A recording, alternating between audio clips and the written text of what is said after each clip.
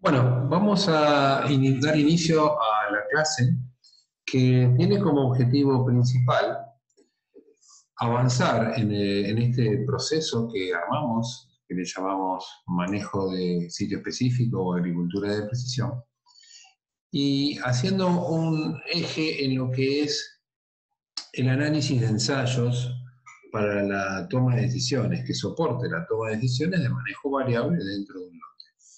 El análisis de ensayos va a necesitar indefectiblemente de el manejo de lo que se llama estadística, tanto sea la estadística clásica o la estadística espacial.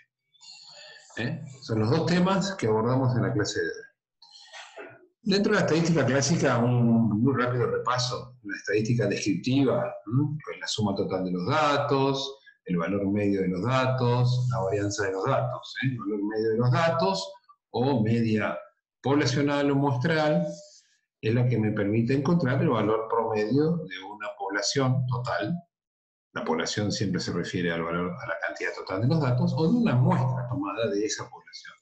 Y la varianza es la variabilidad, es la distancia cuadrática, que está elevado al cuadrado, la distancia cuadrática de cada valor respecto de la media. La sumatoria de todas esas distancias hablan de cuán variable es esa media. Si la media se concentra, hay poca variabilidad, y si la media se aplana, hay mucha variabilidad, aunque sea la misma media muestra. ¿Para qué sirven estos enfoques? ¿Por qué nos planteamos estas cosas? Bueno, porque tenemos que dar respuestas a preguntas que generalmente los productores o los técnicos se hacen. ¿eh? ¿Qué híbrido me conviene sembrar en mi condición de campo? ¿Qué, qué densidad de siembra hay que usar, qué nivel de fertilización, conviene fertilizar, no conviene fertilizar. Estas preguntas que nos hacemos los técnicos a nivel de campo las podemos responder con experimentación a campo. Y esa experimentación a campo es la que nos tiene que guiar adecuadamente para que los resultados que obtengamos sean confiables. Sean confiables hay que respetar dos aspectos. Uno es que el diseño del experimento esté bien realizado y otro es que el análisis del experimento sea correcto. Entonces, para el diseño del experimento, tenemos que respetar esta, esta sigla RAP, que era que haya repeticiones, quiere decir que en el diseño tengamos muchos valores de la misma variable que estamos midiendo, que esos valores se recojan de manera aleatoria, estén distribuidos aleatoriamente, que tengamos un buen asesoramiento para hacer un buen diseño y que ese asesoramiento sea por un profesional relacionado a lo que es la agronomía, con énfasis en la capacidad de analizar estadísticamente los resultados. Por ejemplo, si hacemos un experimento donde en un lote X ponemos, queremos comparar el efecto de dos eh, variedades, la variedad A y la variedad B. Entonces yo elijo cuatro repeticiones y las lo siembro acá, de la variedad A, y como me es más cómodo, ¿eh? voy y vengo, voy y vengo, voy y vengo, con la misma máquina, limpio una máquina, voy y vengo, voy y vengo, voy y vengo con la otra variedad. Bien, pero resulta ser que el lote tiene esta característica espacial. Y como tiene esta característica espacial, el, el resultado que vamos a obtener en este lote de la variedad A o de la variedad B va a ser el efecto de la variedad A y efectos no controlados, y también va a ser el efecto de la variedad B y efectos no controlados. Ahora bien, si uno distribuye los tratamientos de esta manera, la variedad B va a tener más efectos no controlados de tipo el bajo rinde más.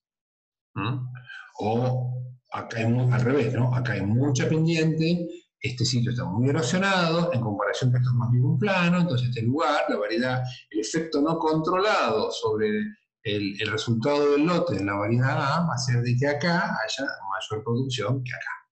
O lo que sea, o lo que pase en cada condición. Entonces, en este caso, el no controlar estos efectos lleva a que el diseño, no el resultado, no el análisis del resultado, sino el diseño de base está mal planteado. Y los resultados que obtengamos de acá no son confiables. ¿Cómo podríamos modificar esto? Bueno, cambiando, tratando de evitar este sesgo, esto se llama sesgo, tratando de evitar este sesgo, este error sistemático de diseño. Entonces, tenemos una repetición 1, donde ponemos las dos variedades en un ambiente similar, una repetición 2 con lo mismo, una repetición 3 con lo mismo y una repetición 4 con lo mismo. O sea que le damos las mismas chances ¿eh? a cada variedad en cada repetición de tener resultados que solo sean comparables entre el efecto de la variedad. con un mínimo efecto no controlado. ¿Por qué? Porque acá no controlamos gracias a esto que se llama bloqueo, gracias a las repeticiones. Ahora, una vez que tenemos un buen diseño, la otra pregunta es, ¿qué hacemos con los resultados? ¿Cómo los vamos a analizar?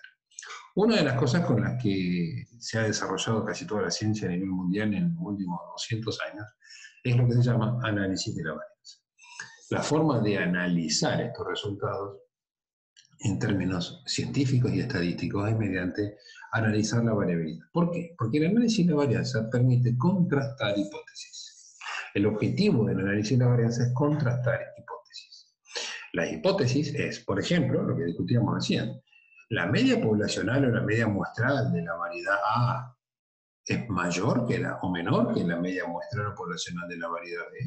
Las dos pertenecen a poblaciones distintas. Estos datos provienen de poblaciones distintas y estas poblaciones distintas se explican porque la variedad que usamos es distinta.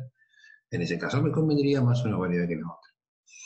Entonces, por eso, lo que hace el análisis de la varianza es descomponer la variabilidad total que tengo en los datos que dispongo y modelarlos, interpretarlos, entender, entender esa variabilidad. A esa variabilidad siempre, siempre se la llama como suma de cuadrados, que es la distancia cuadrática a un punto, a un valor. La forma de calcular esta distancia cuadrática es a través de dos variabilidades. Una es la, la variabilidad que hay entre tratamientos, o la variabilidad entre efectos, y la variabilidad que hay dentro de cada tratamiento. La variabilidad que hay dentro de cada tratamiento, ¿eh? a partir de los datos que yo tengo dentro de un tratamiento, es la distancia que hay respecto a la media del tratamiento. Y la variabilidad que hay entre tratamientos es la distancia que hay entre los dos, pero sobre todo la distancia que hay, la variabilidad, la variabilidad surge de la distancia que hay entre la media de tratamiento respecto de la media general y la media de tratamiento respecto de la media general. La variación total es cada dato respecto a la media general. Esa es la varianza total. Esa es toda la variabilidad que tengo en mi muestra o en mis datos. Eso, esa suma de cuadrados, entonces, ¿por qué, ¿por qué es una suma de cuadrados? Porque sumamos la distancia elevada al cuadrado la distancia del dato x11 respecto a la media general elevada al cuadrado hasta la distancia xn respecto a la media general elevada al cuadrado. Esta suma de cuadrados, designada como suma de cuadrados total, es la, la que tenemos que descomponer y entender para ver si hay más efecto del tratamiento o del error de estimación. La varianza entre tratamientos o entre grupos, como lo tenemos acá, es la media de cada grupo respecto a la media general elevada al cuadrado, lo que hace dos diapositivas atrás, sumado y afectado por la cantidad de datos que componen esos valores. A eso se le llama varianza entre grupos. Y la varianza entre, eh, dentro de cada grupo, la varianza intragrupo, es la distancia que hay de cada dato respecto de la media del grupo. ¿Mm? Entonces cada grupo va a tener su varianza. Y esto es muy importante, porque del análisis de estas cosas que después se interpretan los resultados. Entonces, la famosa tabla del análisis de la varianza, o su en inglés, ANOVA, que significa exactamente lo mismo, está conformada por lo que se llama grado de libertad, que es la libertad serían la cantidad de datos que conforman eso, esa varianza. Siempre se le resta uno o se le resta la cantidad de tratamientos, o uno menos la cantidad de tratamientos, que escapa, en la, comprensión de por qué se tiene que hacer esa resta, escapa al objetivo de esta clase para, comprender cómo funciona la ley de la varianza. Pero tiene una explicación estadística sólida que está detrás de todo. Entonces, los grados de libertad serían, por ejemplo, si yo tengo 10 datos, 10 menos 1 son los grados de libertad que tengo en total que tengo en esa variabilidad. Si tengo 5 tratamientos, los grados de libertad van a ser posible 4. Entonces, la suma de cuadrados calculada, como la sacamos recién, es lo que le llamamos eh, la variabilidad que hay en esa colección. Cuando la dividimos por los grados de libertad, obtenemos la varianza que se llama cuadrado medio. Entonces, lo cuadrado medio entre grupos, que es lo que me interesa a mí, cuadrado medio entre tratamientos, cuadrado medio tratamiento, depende cada, cada abordaje temático se lo, se lo dice de distinta forma, y la varianza, que, la variabilidad que hay dentro del grupo, que se calcula como vimos antes, ¿eh? esta es el valor del tratamiento respecto de la media general, y este es el valor de cada dato respecto de la media de cada tratamiento. Entonces eso me da a mí el cuadrado medio entre tratamientos y el cuadrado medio dentro de cada tratamiento, asociado para todos los tratamientos. En ese caso, la variabilidad interna de cada grupo hace referencia al error experimental. Y de aquí se determina un, un valor estadístico que se llama F, le decimos estadístico, que es el cociente entre la varianza entre grupos sobre la varianza intragrupo, la varianza del error. Este cociente F luego nos va a arrojar un, valor determinado que, aquí está la forma de calcularlo, ¿eh? la varianza entre grupos sobre la varianza del error. Este coeficiente, este cociente F Luego lo vamos a analizar en una distribución de valores de f. La distribución de valores de f tiene este aspecto, es el cociente entre 2chi cuadrado y es la distribución f, que lo que se utiliza es para que si ese valor f se encuentra dentro de este rango de datos, vamos a aceptar la hipótesis nula planteada originalmente, pero si ese valor f se encuentra dentro de este rango de datos, vamos a rechazar la hipótesis nula. Entonces acá lo importante es tener en claro cuál es la hipótesis nula que probamos, podría ser que el rendimiento medio de la variedad A menos el rendimiento medio de la variedad B sea igual a cero, entonces esa es la hipótesis nula, básicamente significaría decir que las dos variedades rinden lo mismo, si el valor F me da, es muy chiquitito, porque hay poco efecto tratamiento, vamos a volver atrás a la tabla, porque esto es muy chico, porque esto es muy chico, hay poco efecto tratamiento, ¿se entiende? Si esto es muy chico y, porque las, medias son parecidas, entonces si son parecidas termina siendo esto muy chiquitito, si hay poco efecto tratamiento o hay mucho error experimental por error de diseño o por error de análisis, vamos a tener un f chico. Si el f chico cae el valor de acá, entonces no podemos rechazarle, porque si no, la vamos a tener que aceptar. Ahora bien, si ese valor f es grande, es porque el efecto tratamiento es muy alto. Si el efecto tratamiento es muy alto, ese valor va a terminar siendo muy alto el f y va a terminar cayendo en esta zona y vamos a poder rechazar la hipótesis Las medias no son las mismas. Esta es la tabla que generalmente nos dice cuál es el valor que va a asumir esta liñita ¿eh? en la medida en que nosotros variemos la cantidad de datos y la cantidad de tratamientos. Entonces, M sería la cantidad de tratamientos y esta N es la cantidad de datos. En base a esta tabla, vamos a tener que superar valores umbrales, por ejemplo en este caso, 7 tratamientos con 11, 11 datos, me da 2,68. O sea, todo F superior a 2,68 va a caer dentro de lo que se llama la zona de rechazo y ahí voy a poder rechazar la hipótesis. Ese valor depende del valor alfa.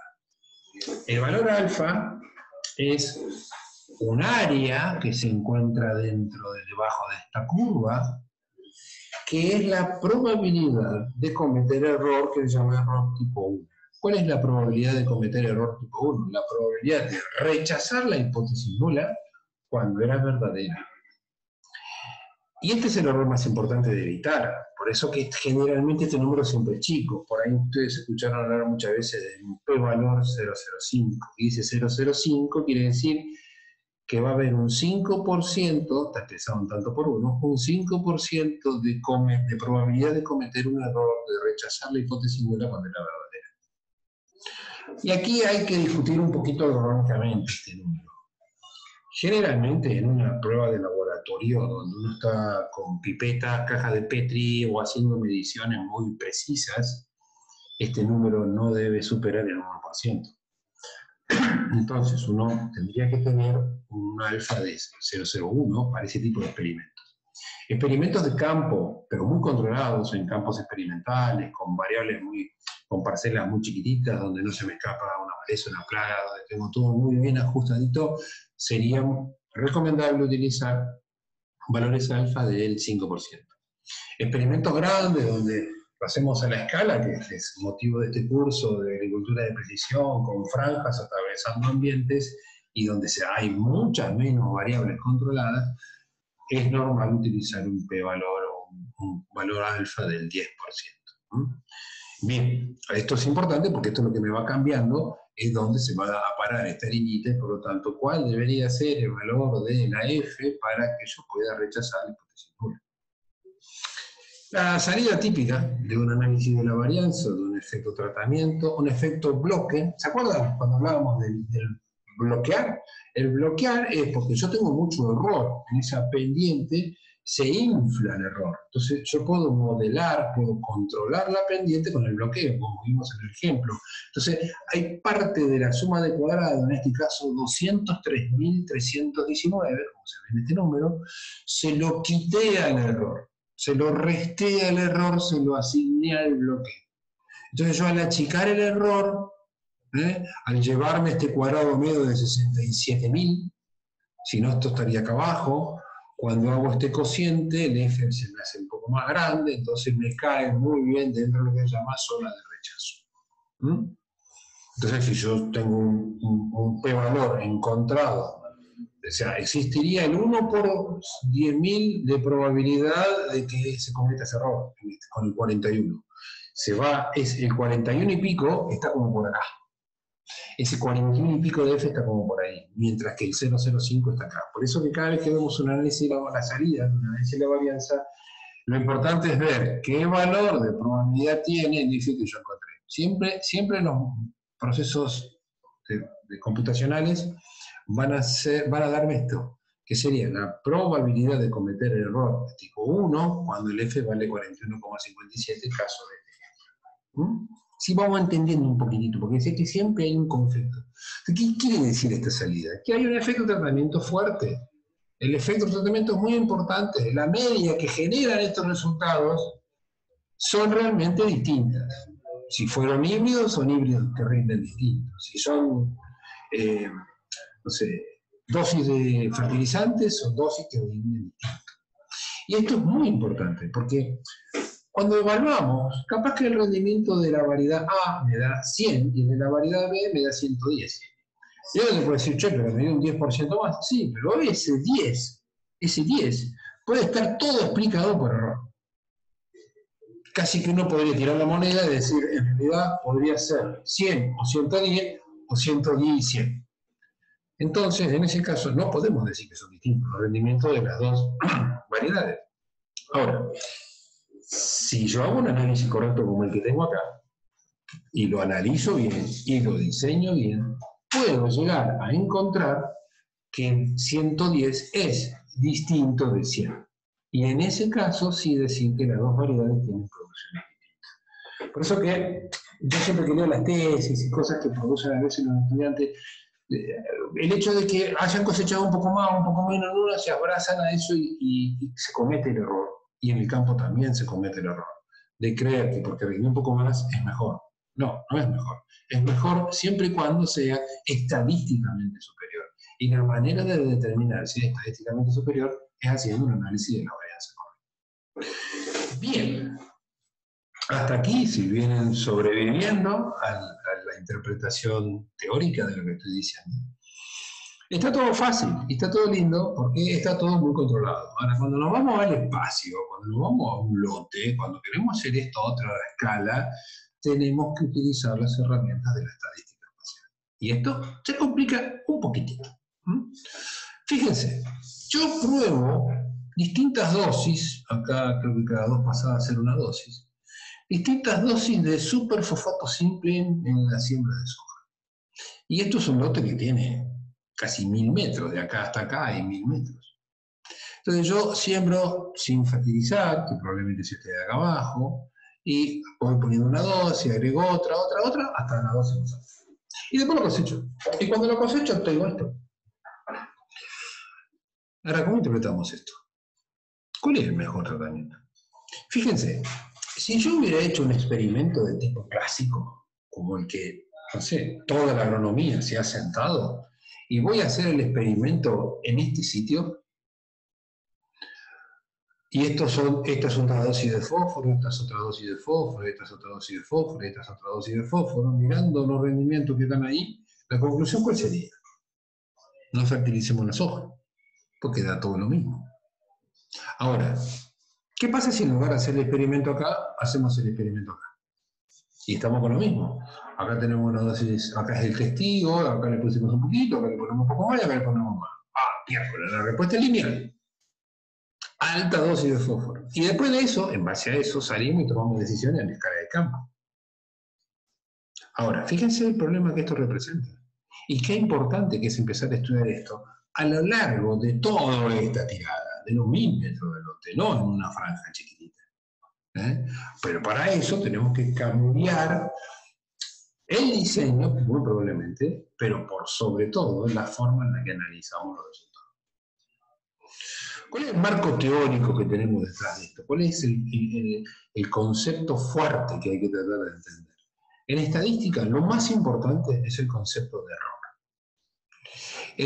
El, concepto de error, error estadístico, que entra en discusión con esto de cometer error a la hora de rechazar la hipótesis, es, la, desviación, es la desviación, es la distancia, es, es el error que existe o la diferencia que existe entre el valor que yo realmente mido, el valor real, entre comillas porque puede ser varias cosas el valor real, pero está entre eh, la diferencia que hay entre el valor que yo observo y el valor que yo predigo o simulo. Ese es el error. Eh, el error es la diferencia entre el rendimiento que coseché respecto al rendimiento que simulo con un modelo, con un modelo estadístico X. Cuando comparamos medias de tratamientos con medias, el modelo estadístico es la media. Entonces, la media respecto de la variabilidad que hay de esa media es el error. Fácil es entenderlo con una regresión. Miren, con una regresión. Yo digo, el rendimiento depende del parámetro A y el parámetro B, que es regresiona linealmente con la altura del nivel del mar. Vamos a hacer un práctico sobre esto. ¿eh? El rendimiento que yo simulo va a ser un valor de base, una ordenada al origen, y luego una pendiente lineal, que puede ser negativa o positiva, si estamos en un ambiente de secano seguramente es negativa, si estamos en un ambiente húmedo seguramente es positiva. A medida que yo me alejo del agua, me, voy para arriba en un ambiente húmedo, va a más, y si me voy para arriba en un ambiente de secano, probablemente rinda menos. Entonces, bueno, ahí la regresión lineal, un modelo técnico, agronómico, pensado para, explicar el rendimiento dentro de un lote, que puede ser este. Ahora, yo después voy y cosecho. Cuando cosecho tengo rendimiento observado. Y lo coseché para cada punto de altura. Entonces, la diferencia entre el rendimiento observado y el rendimiento simulado es el error. El error de experimentación. Y es el más importante de ver en términos estadísticos. ¿Por qué? Porque en realidad el, rendimiento es una variable aleatoria no porque A sea aleatorio, no porque B sea aleatorio, no porque la altura sea aleatoria, sino porque es el error en que es aleatorio. El rendimiento es una variable aleatoria porque el error es aleatorio. Y el, el hecho de que el error sea aleatorio es lo que explica lo que se llama los opuestos del análisis de la varianza. Todo el análisis de la varianza se apoya mirando error. Y al error le va a exigir tres cosas. Que esos errores tengan una distribución normal, que esos errores tengan homogeneidad de varianza, o que la varianza sea homogénea, y que estos errores sean independientes, en términos del tiempo o del espacio. Si miro algo en el tiempo, el, peso vivo de un ternero mientras va creciendo, estoy generando errores en el tiempo. Ahora, si mido el rendimiento de trigo en un lote de, dentro de un campo, estoy generando errores en el espacio. Así siempre nosotros vamos a trabajar con la dependencia espacial de los errores experimentales, no con la dependencia temporal. Vamos a ver un poco esto. Distribución. La distribución casi siempre es normal. La distribución de casi todos los datos de producción, los datos de rendimiento Yo creo que ya les he dicho a ustedes, por excelencia, los datos de producción del lote son los que estudiaron la distribución normal y el análisis de la varianza a través de un hombre que se llamaba Fisher y de ahí viene esa F. Entonces, la distribución es normal y las varianzas cuando uno mira, esta, la varianza sería que para un tratamiento determinado, estos son todos los datos. La forma, la dispersión que tengo, por ejemplo, en un ambiente de alta producción, puede ser esa, para un tratamiento X, y en un ambiente de baja producción, puede ser esta. Casi siempre, y esto hace poco Cecilia se los reclamaba a ustedes, sáquenme la media y coeficiente de variación de cada zona. ¿Por qué? Porque eh, generalmente los ambientes de baja producción son mucho más desuniformes, mucho más variables internamente que los ambientes de alta producción. Y esto caracteriza bien a las zonas que hacemos.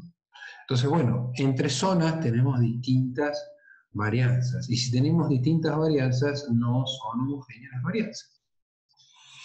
Fíjense que yo acá, el otro, el otro concepto es el de dependencia espacial del error. Yo acá grafico un, lote sectorizado en dos zonas y un ensayo de densidad de maíz. Y acá en este ambiente, que es el ambiente menos productivo, tuvimos 7.300 kilos de producción media y en este ambiente de max producción, 9.600 kilos de producción media. Y si miramos este, este, mapita, este mapita no es un mapa de rinde, este mapita es un mapa de errores. ¿Eh? Estos son errores de estimación.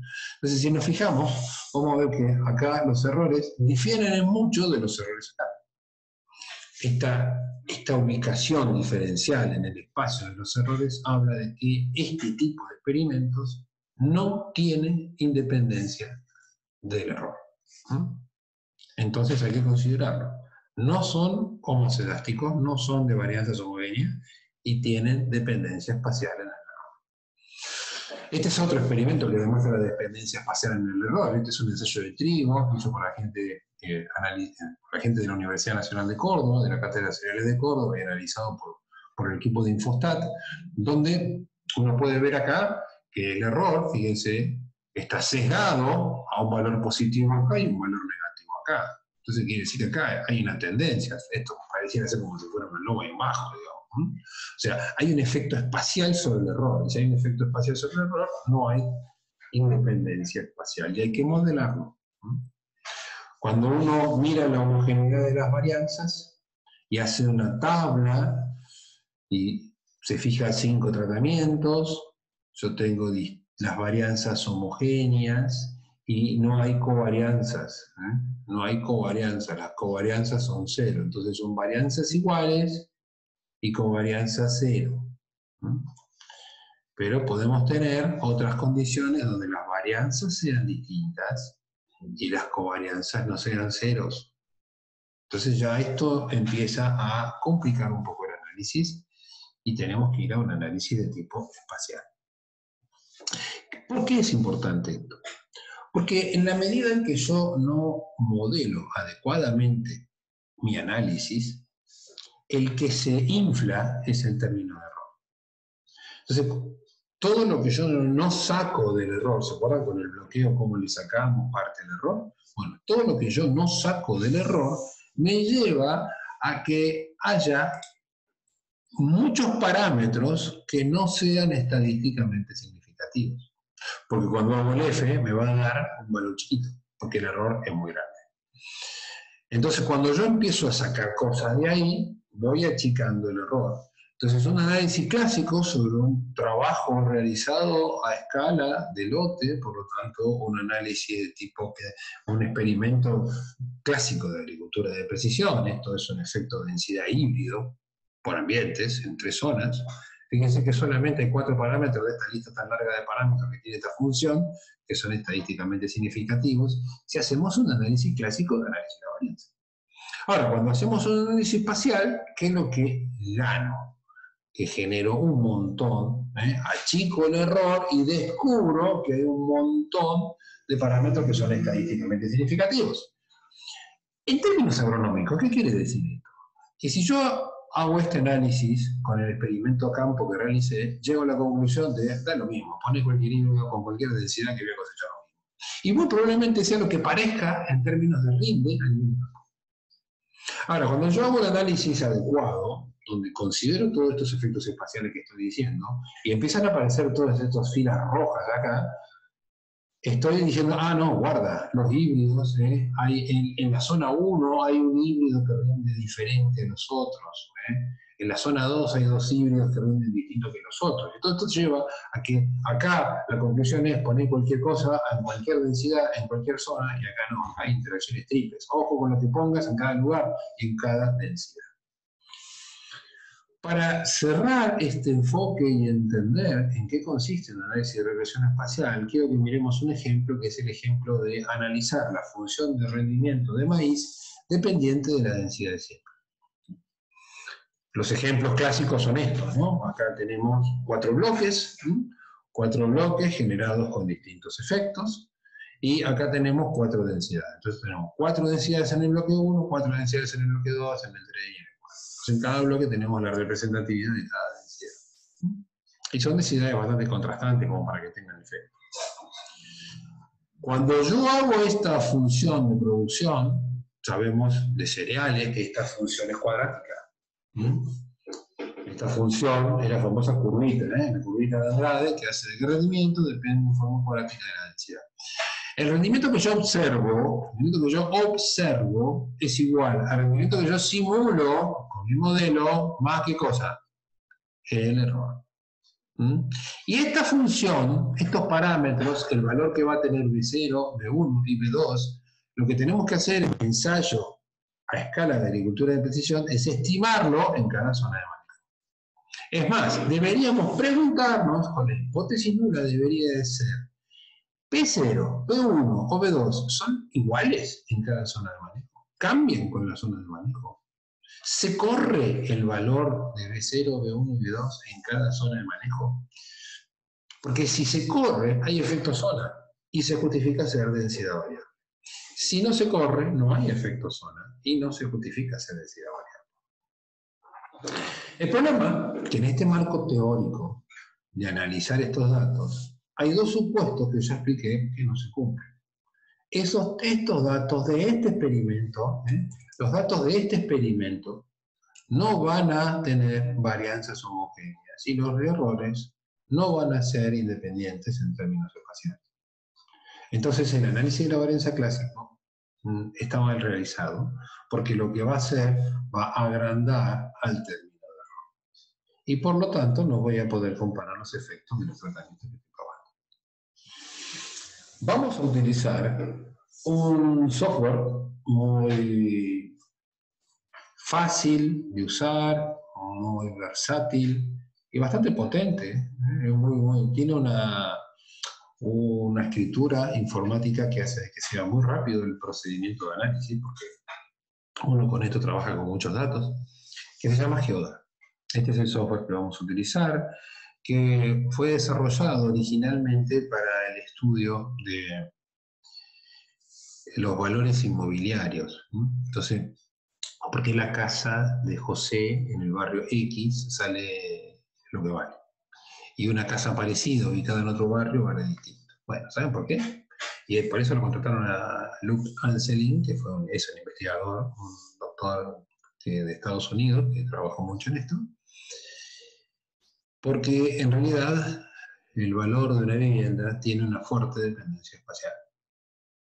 Por ejemplo, si la noticia sale que dentro de un barrio muy costoso, uno de los dueños de una casa muy costosa termina siendo un narcotraficante, el valor de la vivienda, de todo lo que están ahí, empieza a caer. ¿Por qué? Porque, bueno, hay una imagen pública negativa frente a todo eso. Ahora, si en un barrio mucho más humilde uno de los vecinos gana un dinero extra por lotería o por algún juego o por lo que sea, y eso le permite remodelar su casa y ser una casa mucho más linda, o consigue un muy buen trabajo que hace que tenga una casa mucho más linda, esa casa mucho más linda, adentro de un barrio más carenciado o de, condiciones más humildes, hace de que las casas vecinas aumenten su valor, porque tienen al lado una persona importante, una persona que, no sé, tiene un muy buen trabajo, que es referenciada socialmente. Entonces, fíjense cómo hay un efecto espacial sobre el valor de la propiedad. Bueno, sobre eso trabajó originalmente Anselin, y el eje está justamente en esto, y también lo, vamos a utilizar nosotros en agricultura de precisión, porque el eje está en entender la estructura de vecinos o la estructura de vecindad. Luca Anselin lo conoce, bueno, fue profesor de Rodolfo Bongiovanni, que es un argentino técnico, de, doctor de, de agronomía, que es, trabaja en el INTA Manfredi, quien le aportó a este grupo de Anselin los primeros trabajos de agricultura de precisión. Eh, bueno, yo tuve la suerte también, tengo la suerte de conocerlo, ser amigo de él y además fue uno de los miembros de mi comité de doctorado. Y Rodolfo es uno de los primeros en estudiar el efecto espacial de los mapas de rinde, de los ensayos de mapas de rendimiento, mediante este enfoque de la estructura de vecindad. La idea es que esto que discutimos antes del modelo que me explica el rendimiento dependiente de la densidad, con un término de error. Lo expresamos matricialmente. No voy a profundizar en esta discusión, simplemente voy a decir que si esto es para un punto, esto que es una matriz pasa a ser para todo el lote. ¿Mm? Y esto es un error. Y el error, en vez de ser uno, va a ser un vector de errores que me pone en una columna el error para cada punto dentro del lote. ¿Mm? Ahora bien, ¿cuál es la propuesta de Ansel? Que después Bon Giovanni es la que lo expresa en términos de mapas de rendimiento y de ensayos. Lo que dicen ellos es, bien, el error, si yo no lo toco, si yo lo dejo así el modelo, esto se infla. Y este error pasa a estar sesgado además. Entonces yo lo que tengo que hacer esto es restarle, quitarle ruido espacial a ese error. Entonces, ¿qué es lo que hacen? Bueno, ese valor epsilon, los desglosan en dos que sería un coeficiente autorregresivo espacial, que se llama lambda, o un parámetro, un valor, un número, un número, lambda, que le llaman coeficiente autorregresivo espacial, la matriz de vecinos, que simplemente dice quién es vecino de quién, la matriz de vecinos con los errores, y el error que queda. Este sería el error residual. ¿Mm? O sea, A, E es igual a esto más esto. Entonces, cuando yo sustraigo de esto, esta es la estructura espacial de los datos. Una matriz de vecinos con un coeficiente de autorregresión espacial. Y lo que queda, este error, si yo lo analizo ahora nuevamente al haber extraído esto, este error pasa a ser normal, igual que este, que está acá. Este error, además, ahora es de varianzas homogéneas, que este no lo era, porque la variabilidad entre las varianzas me la comió esto que está acá, y este error es independiente en términos espaciales, porque esa dependencia espacial la modelé con esta estructura. Cuando vimos la varianza original, esto sería como el efecto Bloch, solo que puesto en términos espaciales.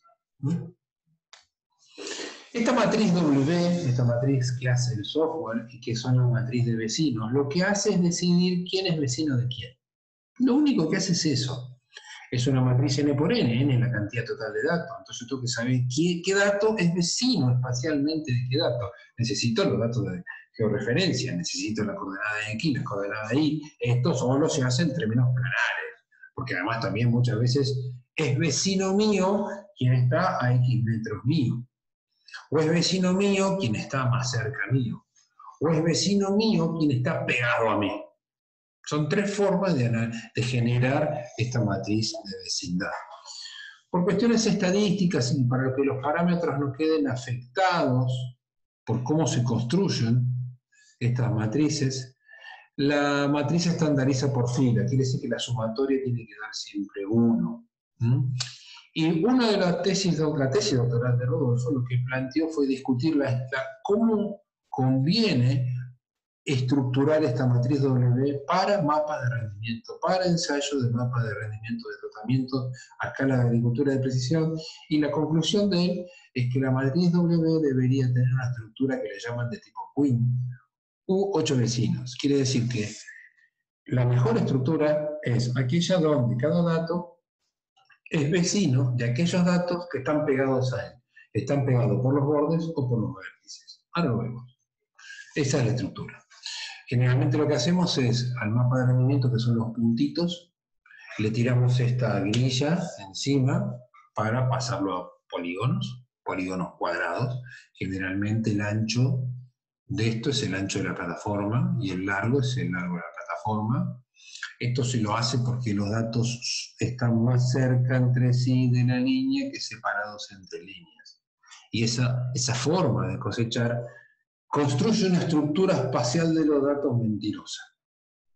¿Sí? Genera una vecindad mentirosa. Por eso Rodolfo propone tirar este polígono arriba y decir que, por ejemplo, el dato que viene como promedio de los rindes que están ahí, de mil, que se llama 1254, es vecino de estos tres, de estos dos y de estos tres. O sea, tiene estos ocho vecinos. De ahí que viene lo que se llama estructura en reina.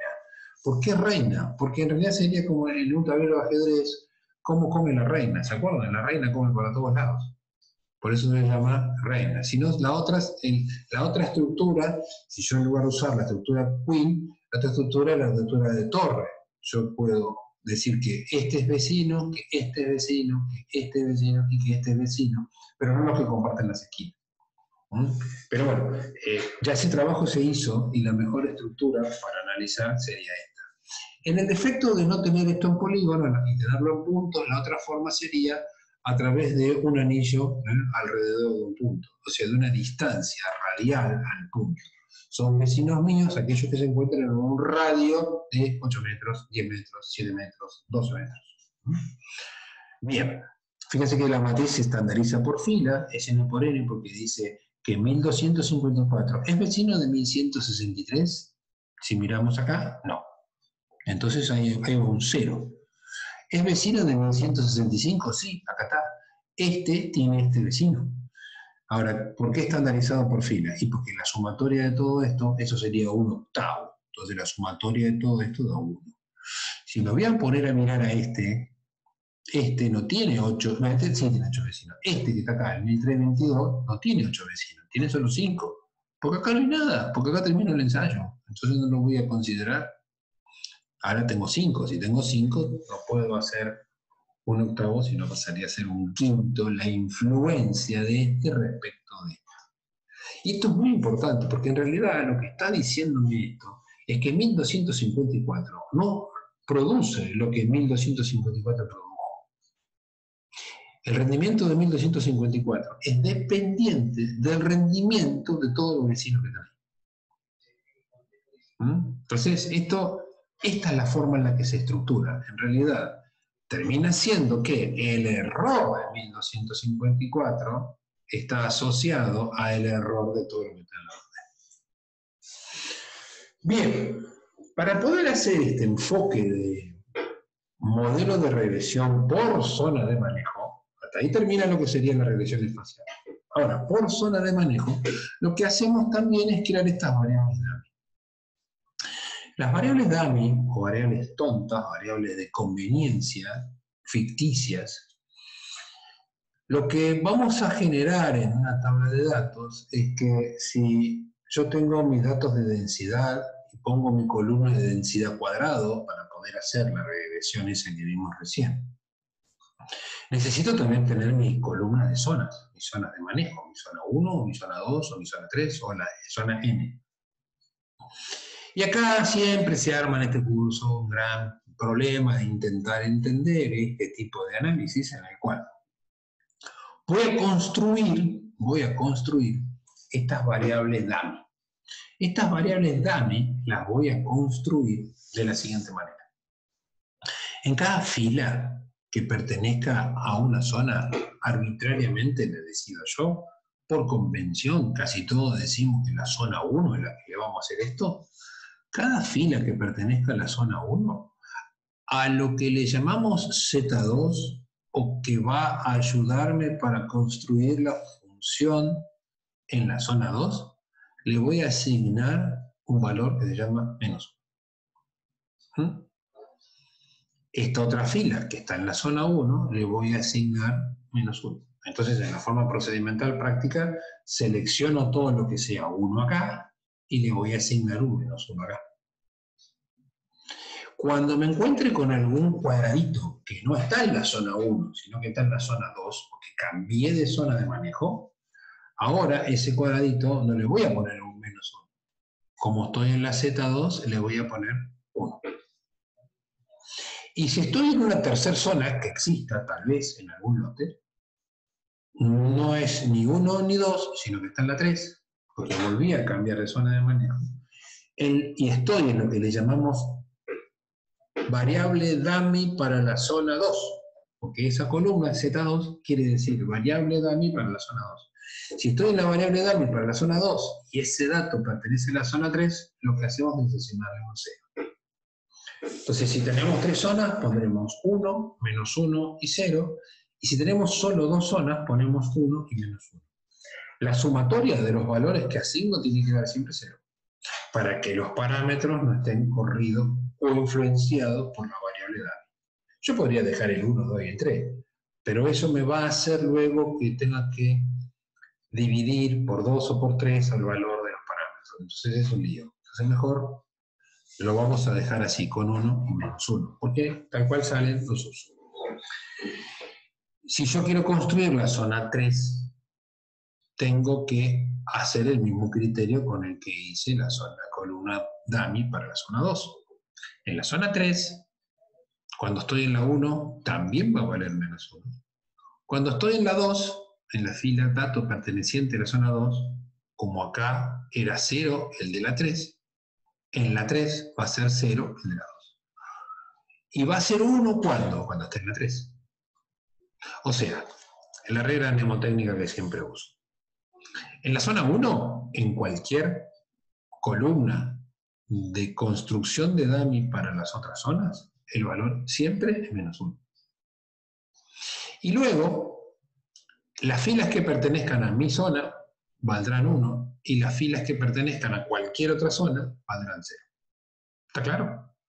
Y luego me resta hacer, y acá lo hago solo para la zona 2, la multiplicación entre la columna de densidad por la zona 2, que va acá, y la multiplicación en la densidad al cuadrado por la zona 2, que va acá. Una matriz, para poder analizarla, para poder hacer una regresión, tiene que tener tantas columnas o tantos campos como parámetros tenga la función de regresión.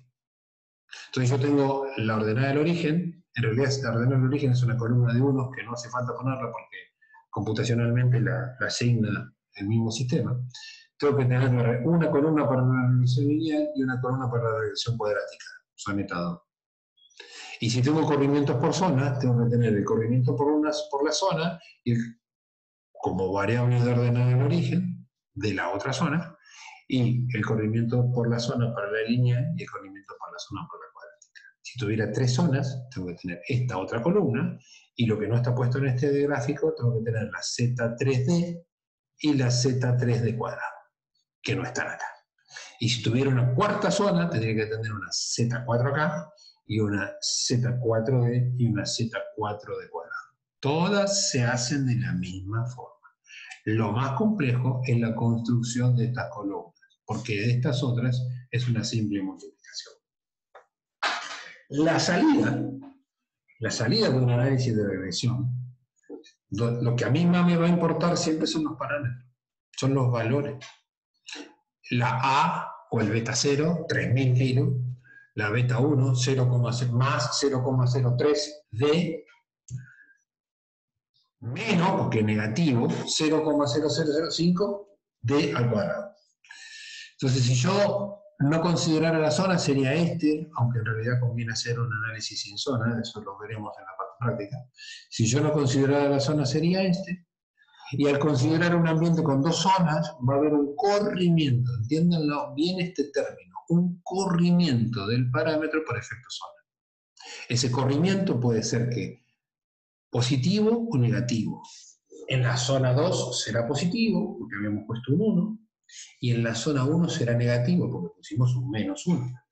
Entonces voy a tener 3000 más 200, el parámetro por la zona 2 va a ser 3200, o 3000 más, eh, perdón, 0015, 003 más 0015, 0045, o 1 por la menos 5 más el otro, y me da 4 por la menos 6. Entonces, fíjense que hablamos del corrimiento. Para la otra zona va a ser el valor negativo de esto, ¿no? Menos 200, menos 005, menos 0015 y menos 050. Y es lo que va a generarme para la zona 1. Entonces tengo la función para la zona 2 y la función para la zona 1. Si esto es estadísticamente significativo, quiere decir que la zona genera un corrimiento sobre los parámetros. Entonces la función es distinta, entonces la variable bajo estudio, en este caso la densidad, debería cambiar por zona. ¿Cuál es la hipótesis nula que se plantea en un análisis de regresión? Que estos parámetros sean iguales a cero. Si son iguales a cero, no hay corrimiento. O si son iguales a cero acá, no hay regresión. ¿Mm? ¿Se entiende? Sé que eh, es un poco trabajoso, pero pensándolo tranquilamente se lo puede comprender. ¿Mm? Bueno, ahí tendríamos el efecto sin zona o las variables corridas en la zona 2. No está puesta la corrida en la zona 1, que sería el valor negativo de este corrido. ¿Qué pasa cuando tenemos tres zonas? Bueno, cuando tenemos tres zonas, hacemos el, el 1 que le pusimos a la zona 2 es el corrimiento en la zona 2, el 1 que le pusimos en la zona 3 va a ser el, va a haber 3 más acá, 3 más en la zona 3, va a ser el corrimiento para la zona 3 con otros valores distintos dependiente de la zona 3. ¿Y cómo obtengo la zona 1? Bueno, restando la suma algebraica de, los corrimientos de las otras dos. Lo veremos en cuando hagamos el práctico de esto. Bueno, entonces vimos la estadística, qué es el análisis de la varianza clásico, cómo se compone, para qué sirve, cómo se hace, cuál es el procedimiento que está detrás, cuáles son los opuestos que están detrás. ¿Cómo esos supuestos no se cumplen en un análisis espacial de datos? ¿Cómo hay que diseñar correctamente ese experimento? ¿Y cómo se hace un análisis espacial de datos cuando estos supuestos no se cumplen? Y finalmente, ¿cómo interpretamos la salida de un análisis de tipo regresión como el que hemos visto? Gracias.